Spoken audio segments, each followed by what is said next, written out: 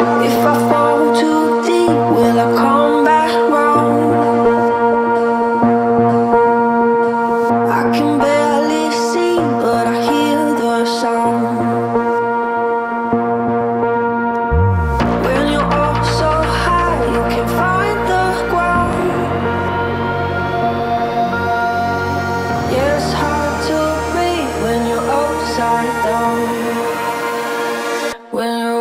upside down.